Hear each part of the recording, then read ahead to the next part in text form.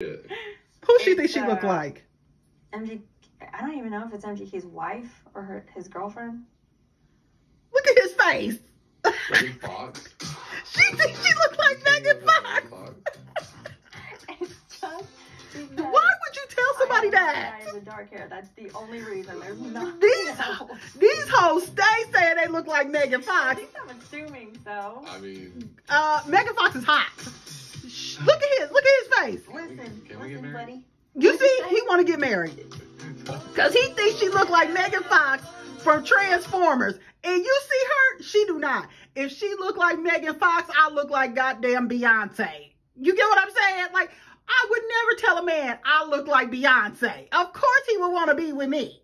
And she talking about I look like Megan Fox. Megan Fox? No, you do not look like Megan. Megan Fox has had three kids and has a six pack. Girl, bye.